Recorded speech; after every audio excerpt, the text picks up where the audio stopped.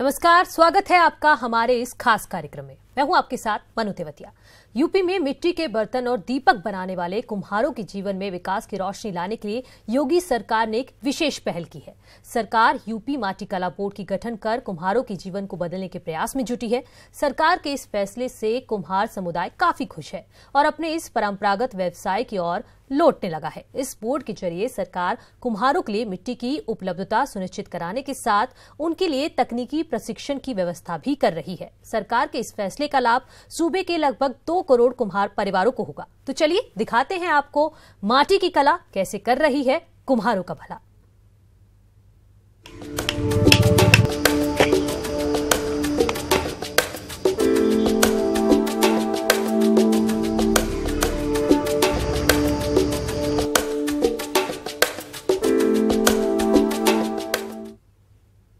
इन दिनों यूपी में योगी सरकार एक और जहाँ पर्यावरण संरक्षण के नाम पर सदियों से चले आ रहे मिट्टी से बनने वाले बर्तनों और कलात्मक वस्तुओं से जुड़े लघु उद्योगों को बढ़ावा देती नज़र आ रही है तो वहीं दूसरी ओर ऐसा करके माटी कला के कारोबार से जुड़े सूबे के बदलती सामाजिक, आर्थिक और राजनीतिक परिवेश में आर्थिक विपन्नता का शिकार हो रहे प्रजापति यानी कुम्हार समाज को भी साधती नज़र आ रही है। देखिए रिपोर्ट। माटी ने कहा कुम्हार से कुम्हारों ने कहा, सरकार से। सरकार ने लिया संज्ञान। अब कुम्हारों का होगा कल्याण।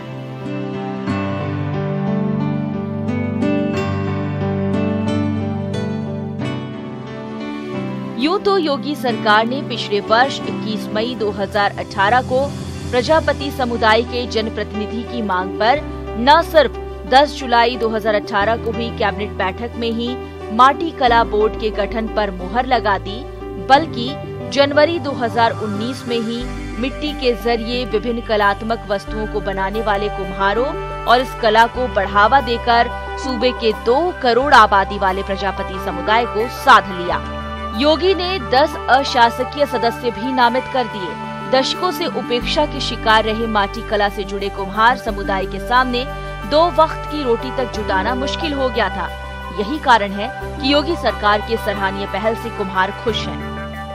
आदरणीय योगी जी को समस्त प्रजापति समाज की ओर से आभार व्यक्त करूँगा कि एक व्यक्ति नहीं, चाहते तो वो मुझे भी एमएलसी बना देते, मंत्रिमंडल में ले जाते, कि और कहीं शिफ्ट कर देते। लेकिन पूरे समाज को ध्यान में रख करके माटी कला बोर्ड का गठन किया, इसके लिए समस्त उत्तर प्रदेश प्रजापति समाज की ओर से उनका आभार व्यक्त करता हूँ। दूसरा ये है कि एक पहली बार देश की आज़ादी के बाद उत्तर प्रदेश में जो सरकार आई है पहली ऐसी सरकार है जिन्होंने संपूर्ण उत्तर प्रदेश के प्रजापति समाज की चिंता की।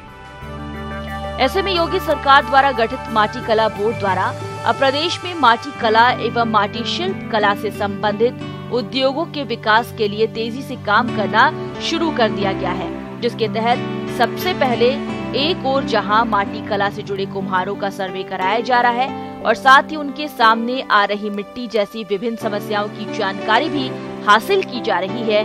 वहीं दूसरी ओर, सूबे के सभी जिलाधिकारियों को, माटी कला से जुड़े कामगारों को मिट्टी मुहैया कराए जाने का भी निर्देश जारी किया जा चुका है। इतना ही नहीं, एक लंबे समय से आर्थिक संकट और संसाधनों से जूझ रहे माटी कला के कामगारों को बेहतर उत्पादों के निर्माण के लिए प्रशिक्षित कर कामगारों के समूह को इलेक्ट्रॉनिक चाक भी मुहैया कराई जा रही है। पहले सरकारों में मंत्री रहे, राज्य मंत्री रहे, कैबिनेट मंत्री रहे, लेकिन समस्त प्रजापति समाज के कारोबार को आगे बढ़ाने के लिए ध्यान नहीं किसी ने दिया। पहली सरकार है उत्तर प्रदेश में जैसे में दूर दराज, गाँव, गलियों में, मोहल्लों में रहने वाले लोग, सबकी चिंता इस सरकार ने की मैंने देखा है, क्योंकि मैं भी उसी समाज से आता हूँ पूरा परिवार मिट्टी के उद्योग में पूरा दिन लगता था और रोटी उनके मुश्किल हो जाती थी। इसलिए ये कारा सारा काम बंद करके वो अन्य धंधों में चले गए। अब क्योंकि इसको बढ़ावा देने के लिए बोर्ड का गठन हुआ है तो हमने सभी मंत्रियों को लिखा कि आप अपने विभाग को निर्देशित करिए कि वो मिट्टी के कुल्हड़ों का या मिट्टी के जो भी बर्तनों की ज़रूरत हो तो उसका सदुपयोग करें। इतना ही नहीं, माटी कला बोर्ड द्वारा माटी शिल्प कला से नवीन पीढ़ी को जोड़ने के साथ ही स्वरोजगार के अवसरों में वृद्धि करने के लिए न सिर्फ़ कच्चे माल की प्राप्ति के लिए नियमों में सरलीकरण किया जाएगा, बल्कि कुम्हारी कला में इस्तेमाल होने वाली मिट्टी को निकालने के लिए ग्राम पंचायतों में कारीगरों को निशुल्क पट्टों का आवंटन भी होगा। लखनऊ से न्यूज़ 18 के लिए राजीव की रिपोर्ट। सूबे की योगी सरकार माटी कला बोर्ड के ज़रिए सूबे के कुम्हारों को बड़ा तोहफा देने जा रही है और उनके जीवन स्तर पर बदलाव के लिए कई कदम उठाने जा रही है। योगी सरकार के इस कदम को लेकर कुम्हारों में खुशी तो है, लेकिन वो क्या सोचते हैं और उनका काम कैसे चलता है? कुम्हारों से बातचीत की है हमारे संवाददाता राजीव ने। वक्त मैं राजधानी लखनऊ स्थित योजना भवन से महज पाँच किलोमीटर दूर देवी खेड़ा गाँव में जहाँ आप देख सकते हैं कि कुम्हार बिरादरी के लोग अपने काम में जुटे हुए हैं। ये कुम्हार बिरादरी के लोग इसी मिट्टी के ज़रिए तमाम वो ऐसे सुंदर बर्तन बनाते हैं जो विदेशों तक बेचे जाते हैं। आप देख सकते हैं कि अभी भी इनका वो काम जारी है। ऐसे में हमारे साथ कुछ लोग मौजूद हैं जिनसे बात करेंगे। दादा, इस वक्त काम धंधा कैसा चल रहा है? इस वक्त हमारा काम धंधा बहुत ढीला भी चल रहा है। गर्मी की वजह से काम हो नहीं पाता। मिट्टियाँ की परेशानी है, मिट्टी खरीदना पड़ता है। आठ नौ सौ रुपये की टाली लेते हैं और पानी की समस्या कम, गंभीर रहती है और हम आगे जो है गर्मी के मारे काम नहीं कर पाते हैं और हम अपने बच्चों के लिए घर द्वार भी संभालना है, सब कुछ करना है तो हम लोगों को कोई लाभ नहीं मिल रहा है इसमें से। क्या, लगता है दादा जो ये आप बना रहे हैं क्या इसका बाज़ार में वाजिब मूल्य मिलता है? क्या क्या समस्या होती है? ये अगरबत्ती स्टैंड बना रहे हैं ये पाँच रुपये दस रुपये की बिकती है। कोई भी पर्चा इसमें नहीं आ रहा है। कम से कम इसमें कुछ बढ़ के मिले दस बीस रुपये तो बिकना चाहिए। तब पर्चा खाए। माटी इस भाव है ईंधन इस भाव है यही समस्या है सर क्या क्या परिवार के लोग सपोर्ट करते हैं आपका सहयोग करते हैं? बच्चे बच्चों को ये इसमें कोई दिलचस्पी है? बच्चे लोग जो है क्या जब हमें बच तब हमें लोग परेशान हैं तो बच्चे क्या करेंगे? बच्चे परेशान रहते हैं। तो पढ़ाई लिखाई और ये सब खर्चा कैसे चलता है? इसी में हम लोग चलाते हैं किसी तरह काट पीट के अपने बच्चों को पढ़ाने के लिए तो थोड़ा बहुत उनकी फ़ीस भी नहीं दे पाते तो बच्चे जा ही नहीं पाते हैं स्कूल में पढ़ने के लिए। तो यही सब मजबूरियाँ हैं तो आप अब क्या बताएँ हम? क्या क्या सरकारी योजनाओं का कोई लाभ नहीं मिलता आपको? सरकारी योजना का कोई हमें लाभ नहीं मिला और कोई हमको सुविधाएँ भी नहीं मिली। अब वो जो सरकार आती जाती रही वो भी नहीं सुविधाएँ दिया और हम गरीबों को कुम्हारों की कोई तरक्की नहीं हो पाई। आज हम लोग जिससे नीचे गिरे हुए हैं कि आज हम लोगों को कोई समझता नहीं है। और मिट्टी जो है, इसमें बड़ी मेहनत पड़ती है। इसको हम लोग फोड़ते हैं, गड्ढे में भरते हैं, पानी भरते हैं, उसके बाद में छन्ने छानते हैं और फिर उसको बर्फ़ी की जमाते हैं। बर्फ़ी जमा के फिर बाहर निकालते हैं, फिर आटे की तरह गूंद के तब हम काम में इस्तेमाल लेकिन दादा इस बीच भले ही पिछली सरकारों में न शुरू हो लेकिन पहली बार योगी सरकार ने माटी कला बोर्ड का गठन किया है और आपकी बिरादरी को बढ़ाने के लिए इस माटी की कला को बढ़ाने के लिए कई योजनाएँ शुरू किए हैं काम शुरू किए हैं। क्या लगता है कि उससे आपको आने वाले दिनों में कुछ लाभ मिलेगा?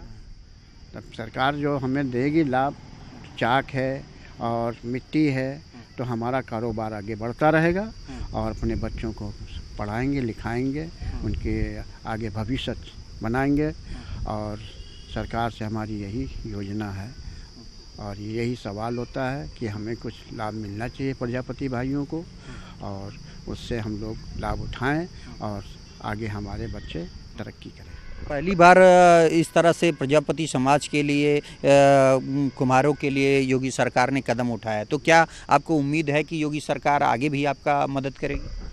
अब, जो सरकार आई है उस सरकार को हम प्रजापति भाइयों को मदद दे और हम लोग उनका नाम है लेंगे और आगे की उम्मीद करेंगे कि हमारी सरकार बहुत अच्छी आई है। क्यों? हम लोगों इससे लाभ मिला।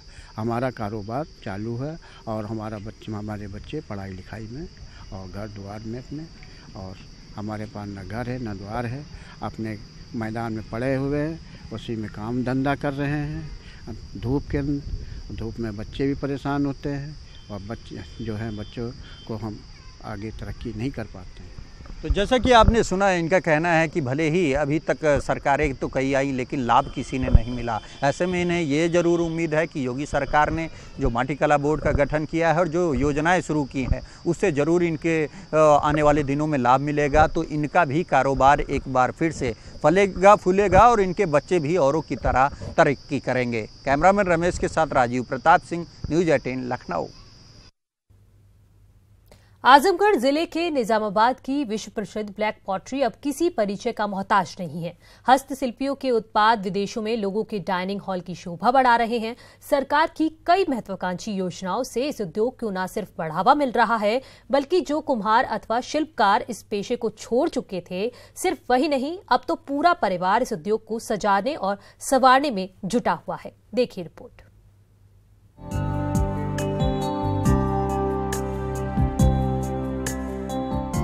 मिट्टी के बर्तन बनाने और मिट्टी से शिल्पकारी करने वालों के दिन बहुरने वाले हैं। योगी सरकार मिट्टी कला बोर्ड के ज़रिए इनका कल्याण करने में जुटी है। आजमगढ़ ज़िले का निजामाबाद कस्बा मुगल काल से ही काली मिट्टी के बर्तन बनाने में लगा रहता है। इस कला में लगे कारीगर अपनी कला से मिट्टी को आकार देकर विश्व में ज़िले की पहचान बना रहे हैं। केंद्र व प्रदेश सरकार द्वारा हस्तशिल्पियों को पुरस्कृत किए जाने के साथ, अब ऋण की भी योजना ने इस उद्योग को बढ़ावा देने के लिए संजीवनी का काम किया है। पूरा मोहल्ला हमारा जो हुसैनाबाद का है, ये पूरा आजमगढ़ नहीं, पूरा हिंदुस्तान में मिट्टी के बर्तन और ब्लैक पार्टी के नाम से मशहूर है।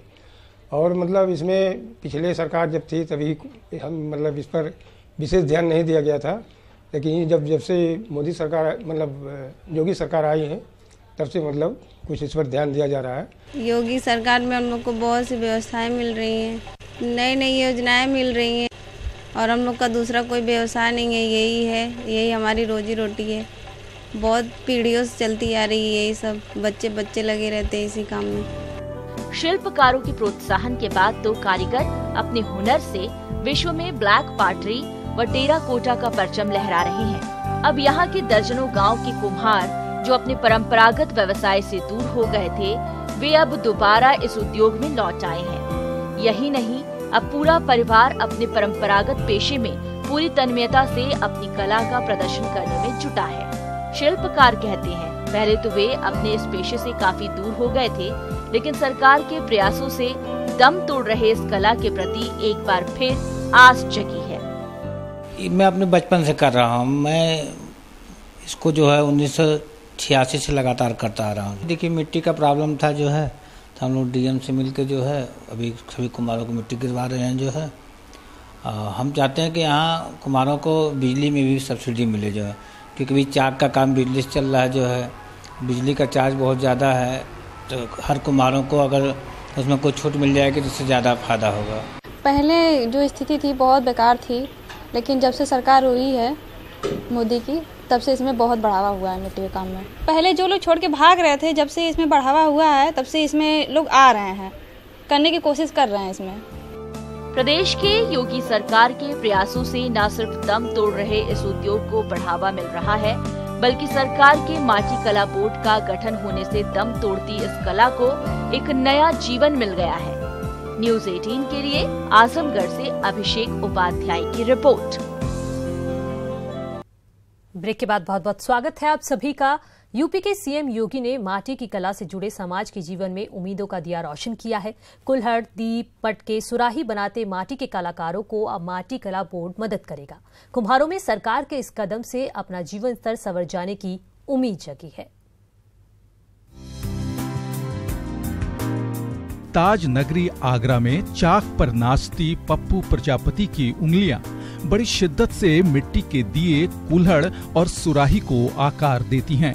लेकिन मिट्टी के महँगे हो जाने से पप्पू प्रजापति उदास थे कि आखिर अब उनका काम कैसे चलेगा। लेकिन अब उन्हें चिंता करने की ज़रूरत नहीं रही। अब माटी कला बोर्ड पप्पू जैसे कुंभकारों के लिए विकासात्मक गतिविधियाँ संचालित करेगी और इनका जीवन स्तर भी सुधरेगा। तो हमारा कहना यही है, जब तुम्हारे घर पूरी व्यवस्था ठीक ठाक होगी तो हम अपना काम भी आगे को ठीक ठाक बढ़ाएँगे और भी हमारी सेल अच्छी बढ़ेगी। अब तो हमारा जब कोई साधन ही नहीं है हमारे लिए तो हमारा तो बिल्कुल ही काम बंद पड़े हुए हैं। हम तो बेरोजगार आदमी हैं और हमारे पास यही रोज़गार है हमारा पुराना, इसी हमारे बच्चे आगरा के ज़्यादातर कुंभकार परिवार खूब सारे मिट्टी के बर्तन बनाते हैं। घड़ा से लेकर चाय की प्याली तक और बाकी मिट्टी के बर्तन इन परिवारों की ओर से बनाया जाता है। इन्हें एक ट्रॉली मिट्टी तीन हज़ार रूपए में खरीदनी पड़ती है। इन कुंभकारों को उम्मीद है कि अब यूपी सरकार के आदेश के बाद इनके जीवन में सकारात्मक परिवर्तन होगा। योगी सरकार ने माटी के हुनरमंदों के लिए बड़ी पहल की है। माटी कला बोर्ड का गठन किया है। साथ ही साथ कुम्कारों को किस तरह से मिट्टी आसानी से उपलब्ध हो और उनका उत्पाद जो है कुल्लड़ वगैरह ये सरकारी दफ्तरों में इसका इस्तेमाल हो, इसको लेकर के माटी कला बोर्ड का जो गठन किया है, उसको लेकर के कुम्हारों में एक नई उम्मीद जगी है कि इनका जीवन भी अब संवर जाएगा। कैमरामैन बंटी के साथ हिमांशु त्रिपाठी, न्यूज़ एटीन, आगरा। मिट्टी का प्रयोग विभिन्न प्रकार के गृह उपयोगी व कलात्मक वस्तुएँ आदि बनाने का प्रचलन सदियों पुराना है।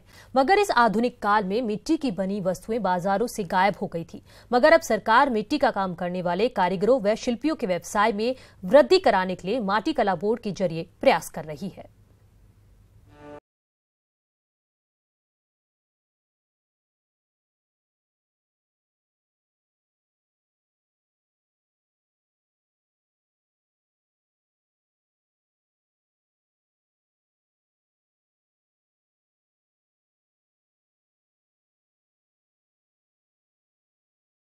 कानपुर की कुम्हार मंडी, जहाँ पर 500 से अधिक परिवार रहते हैं। जिनकी रोजी रोटी का साधन सिर्फ़ मिट्टी और मिट्टी से बनने वाले बर्तन हैं।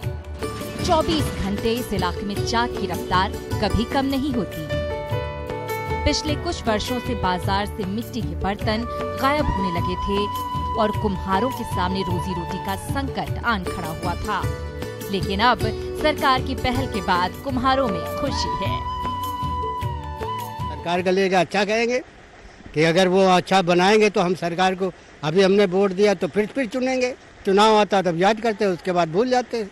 बिल्कुल भी सरकार के लिए हम धन्यवाद देंगे कि हमारे लिए अच्छा करे, सुरक्षित करेंगे कि अभी सरकार ने हमको यहाँ के मोहल्ले वालों को एक चाक दी है। कुंभकारों को सरकार की ओर से उठाए जा रहे इस कदम से काफ़ी लाभ होगा। इनकी उपयोगिता भी बढ़ेगी और माटी शिल्प कला के माध्यम से कारीगरों को स्वरोजगार के अवसर उपलब्ध कराने के साथ इन्हें प्रशिक्षण भी दिया जाएगा। इस बात के लिए कुंभकार योगी सरकार को धन्यवाद दे रहे हैं।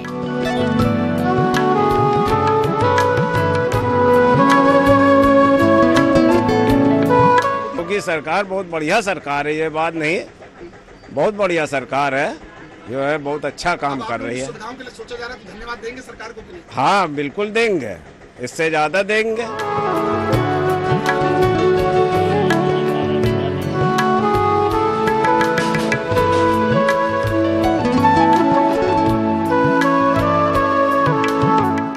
कानपुर की कुमार मंडी में खड़ा हूँ, जहाँ 500 से ज़्यादा घर हैं और हर घर में हाथ में हुनर है।